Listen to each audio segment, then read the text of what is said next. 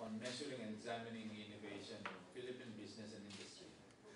This is a paper produced basically by Dr. Albert, who is senior author of a three-person uh, paper, and the junior author. So senior author is Dr. Albert. Today's fast-paced era of high-tech computers, machines, smartphones, and whatnot have made innovation a requirement for companies. In fact, innovation is included in the Sustainable Development Goals and an important component of the Philippine Development Plan. In the 2016 Global Innovation Index report, the Philippines ranked 74th out of 128 economies in terms of innovation climate.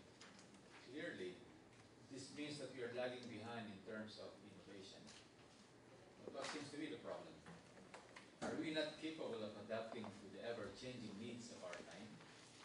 This shows that we need to think more, do more, and address the problems that make it difficult for our companies to innovate. When we hear the word innovation, oftentimes we think of something grand and ambitious. But it doesn't mean, doesn't only mean new, big, game-changing developments in a company. It also includes even minor improvements in policy, in products and processes or operations, which can result in significant gains for the innovating company. Taken in this sense, not important whether an innovation is major or minor. What is important is to adopt an innovative mindset. After all, innovations could lead to the welfare of everyone and not only the producers.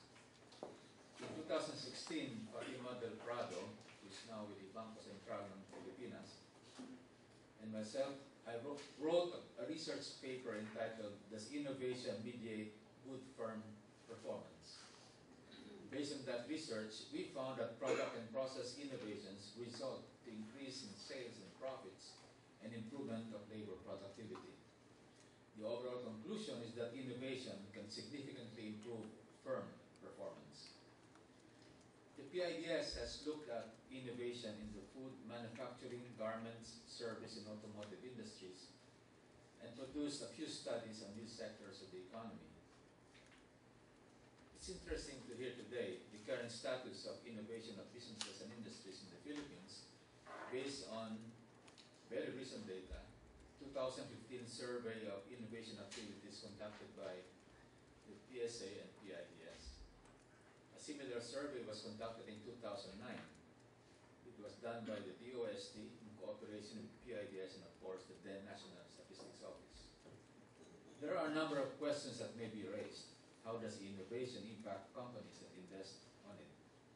What hinders companies to innovate? What leads firms to innovate? This afternoon, we have to thank Dr. Toots Albert for being here with us to present this very timely seminar. We welcome guests and hope, look forward to a very active interaction amongst